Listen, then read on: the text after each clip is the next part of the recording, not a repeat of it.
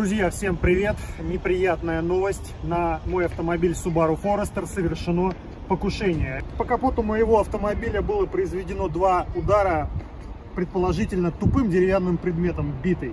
И с учетом того, что он был покрыт пленкой, в данный момент я пленку уже снял, вмятины не такие сильные, как могли бы быть на незащищенном капоте. Я думаю, если он был бы без пленки, его бы просто порвали. То есть те товарищи, которые это делали, они на самом деле очень отмороженные, потому что дом, в котором я живу, весь утыкан видеокамерами. И найти преступника вопрос времени. Но сейчас не об этом, а о том, как исправлять вот это повреждение, так как капот у меня алюминиевый. Э, удар произведен был в защиту, снизу защита, то есть снизу не подобраться к нему. Э, ну и, собственно, алюминиевый капот очень тяжело восстанавливает. Вот такая вот ситуация неприятная. Как, собственно, образовались эти вмятины? Где-то в час ночи, в воскресенье у меня заорал брелок, что, ну, в общем, машина среагировала на какой-то удар. Естественно, я выходить не стал, думаю, ну, блин, кто-то, наверное, сдавал или парковался, нечаянно задел, но обычная житейская ситуация. Утром выхожу к машине и смотрю на капоте вот такие вот две вмятины. Позвонил знакомому, сказал, что вот образовалась такая вещь. Э, у каких-то, видимо, подростков, э, скорее всего, пьяных, зачесались руки. Ну и, собственно, приложили э, битой, сделали себе приятно, кайфанули от этого. Я подумал, что это было примерно так. Но мой знакомый сказал, что в этот день по телевизору он видел в новостях, была акция вандализма по всему Санкт-Петербургу. То есть машины крушили, ломали, били, заливали краска из баллончиков. И, собственно, видимо, мой автомобиль попал под ту же самую акцию. Вот, собственно, такая неприятная ситуация. Заявление уже написано. Э, этим будут заниматься правоохранительные органы. Те, кто, собственно, и должен этим заниматься. Все дворы у меня утыканы камерами. Все дома, вообще их просто тут немерено. И по этой камере вычислить того, кто ударил машину, вопрос времени. То есть, я думаю, где-то после Нового года у того молодого человека, которого зачесались руки по пьяни, будет хороший подарок. То есть, собственно, статью он себе уже э, этим действием поднял. Но во всем нужно искать положительные моменты, и я решил их тоже найти. Для себя я решил понять, как вообще восстанавливаются такие вмятины без покраски. Ведь очень много рекламы сейчас э, в интернете, что мы вам восстановим вмятины на автомобиле без покраски и очень дешево. Я думал, что сниму об этом контент. Приехал в одну из таких организаций, самую крутую, которая находится на первом месте в выдаче в Яндексе. И они меня расстроили. Они сказали, что краска растянута и восстановить возможности эту краску нет. А так как у них нету ход-спота, по-моему, называется прибор, то, собственно, сделать они этого не могут. Я заморочился, нашел человека, у которого есть этот прибор. Этот человек приехал, посмотрел мой автомобиль и снова облом. Он не может восстановить ход спотом, вот этим прибором, мой капот, потому что снизу идет усиление. То есть еще один гемор э, машине. То есть без вариантов, друзья. Сегодня я еду красить автомобиль, потому что других вариантов просто нет. И Хочу для себя понять, как же красится алюминиевый капот, потому что это еще одна проблема. Алюминиевые капоты, я так понимаю, вообще нифига не красятся. Ну, либо только кулибинами российскими. Обычно эти капоты просто меняются нафиг и все. То есть они... Их тяжело восстановить. Поэтому едем в автосервис, в котором будут красить мой автомобиль. И, собственно, переговорим со специалистами на эту тему. Поехали. Так, друзья, видео обещает быть интересным. Заезжаю прямо в гараж к дяде Ване. Вот в этот гараж, прикиньте, ребят, в нем не будут красить мой автомобиль. Охренеть. Впервые в жизни такая тема. У меня новый опыт. Друзья, я, честно говоря, в шоке пребываю от увиденного места, где мне планировали и предлагали покрасить автомобиль. Убедили меня по телефону в том, что там делают просто могут красить даже Бентли и Феррари, то есть высший пилотаж. В итоге я приехал в, этот, в это место. Оказывается, это гараж у дяди Вани. Встретил меня узбек, довольно-таки добродушный, и открыл ворота. Там лежал капот покрашенный. И под лаком и под краской было куча пыли. То есть песчинок, мелких всяких пылинок, волосинок. В общем, все это было закрашено э, просто по мусору. Я вообще в шоке от такого, такого я еще не видел. И мне там предлагали покрасить мой автомобиль. Чуть было, мне кажется, не вляпался. Поэтому ну его нафиг, все эти эксперименты. Едем в другое место. Приключения продолжаются. Покраски моего Субару. Конечно, интересная очень ситуация. И больше всего мне понравилось то, что мне предложили покрасить автомобиль по телефону за 9 тысяч. Этот узбек посмотрел на мой капот говорит, ой, у тебя очень сложная краска, она очень дорогая, поэтому будет дороже, будет 11 тысяч. Потом я ему говорю, а ты в курсе, что вообще капот алюминиевый? Он говорит, да, тогда будет еще дороже, говорит. То есть вообще молодец, красавчик, четко сработал, говорит, тогда будет просто дороже. Сделаю просто, будет супер. Но, а, говорит, попадать в кадр не хочу. Когда вы будете снимать видео, не хочу, чтобы я попадал в кадр. Ну так, чисто на всякий случай. То есть сегодня все звезды сошлись на том, чтобы я там свою машину не оставлял. Вот так прям ёкнуло в душе. Поэтому мы едем в другой сервис и будем искать другое место для покраски моего Subaru. Приключения продолжаются.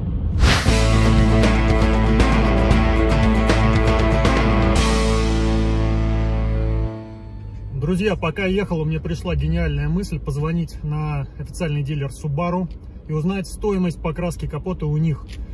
Оказывается, в Пулково есть дилер, но нет покрасочного цеха. В итоге меня отправили на науки, э, проспект науки, туда позвонил.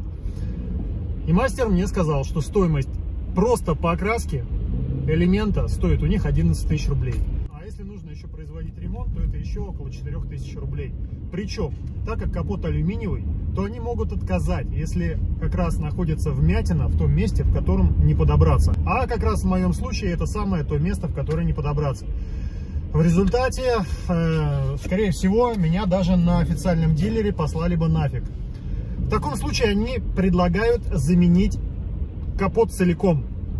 Стоимость замены капота стоит 50 тысяч рублей, плюс покраска и еще 10 тысяч рублей. Все-таки путь у меня один, это в гаражи к дяде Васе. Другого варианта у меня просто нет.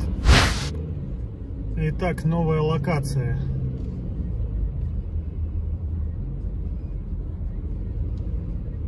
Опять, опять любимые гаражи. Сейчас будем искать место, где меня уже приглашают. Здравствуйте.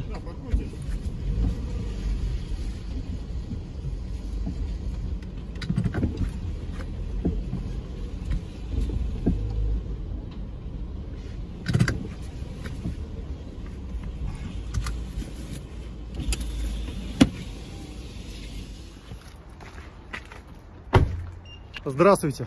Добрый день. Добрый день. Ну что, сможете помочь мне в этой проблеме? Да, конечно. Тут, кстати, капот-то алюминиевый. Алюминиевый. То есть все геморрои, которые можно, я собрал. То есть капот алюминиевый, а, уда, э, вот эти сколы, ну в смысле вмятины, под защитой снизу не подобраться. В общем, полный трендец. Могу открыть, кстати, капот. Ну давайте, да, откроем. Да, вот такая вот ситуация. Особо на...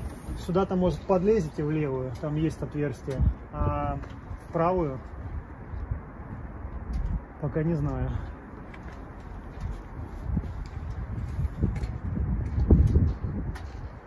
Я думаю, можно попробовать без окраски его. Но если вы сделаете без окраски, то я вообще сниму перед вами шляпу. Надо позвонить специалисту, который у нас приходящий. Мне уже, в принципе, без окраски предлагали, там, ход с потом, или как там, ход, я в этом не очень понимаю. Но человек приезжал и вроде сказал, что не может. Была пленка сверху, угу. я ее снял. Поэтому ЛКП сохранилась, в принципе. Ну да, поэтому она и как бы вот то есть, если сможете сделать без окраски, это будет, конечно, круто.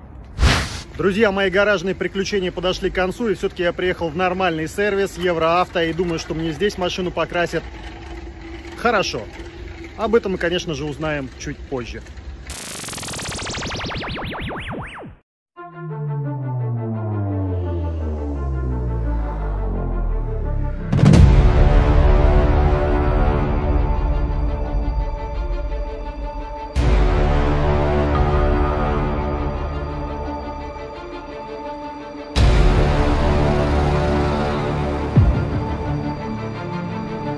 Итак, друзья, машина чистая. Сейчас подойдет арматурщик и будет снимать капот для покраски.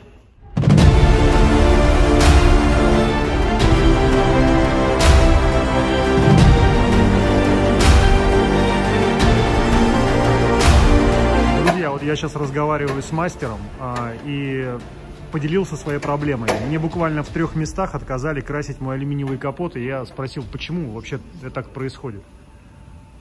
Алюминий очень плохо ремонтируется, поэтому всегда идет под замену. Ну вот мне так и предложили, а замена капота 50 тысяч рублей, это просто капот, плюс покраска, мне сказали, Да, на верно, все верно сказали. Вообще Но мы космос. выходим с таких ситуаций, есть возможности, есть технологии, которые позволяют все-таки ремонтировать алюминий А, то есть сделайте нормально, Да. и даже, наверное, в цвет попадете, да? По-другому не умеем. Понял.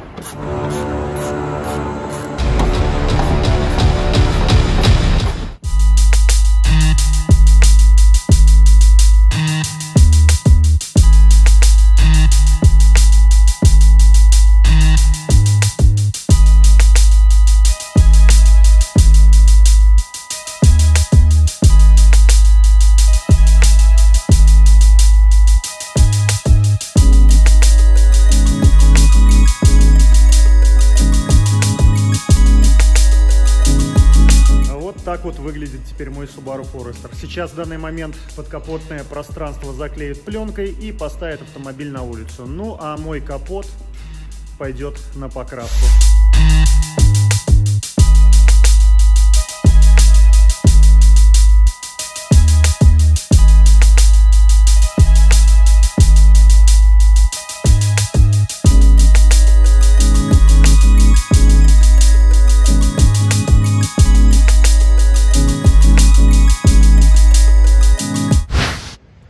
Друзья, ждем такси, едем домой.